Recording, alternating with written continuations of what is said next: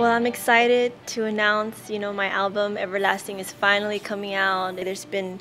letdowns and there's been just different things that have just come up, but you know, God has a, the perfect timing for everything. I sincerely believe that. I know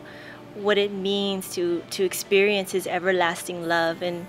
you know that's exactly what the album is titled and just the other songs that were written as testimonies of just the way that God worked in my life and how He brought me through time after time and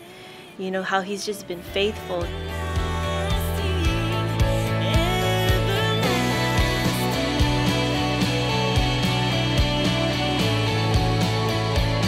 You know, I'm just so excited to be able to share that through the songs that I wrote and be able to share my testimony and you know the the the testimony of his everlasting love if anything, I just hope that when you listen to this album, when you listen to the songs, that it blesses you, that it encourages you, and that it changes you.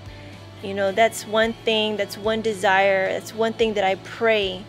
that, you know, it's just not that my music, that the songs that are written are just, it's just not a song, but it's more than that, that it really touches your life and it blesses you.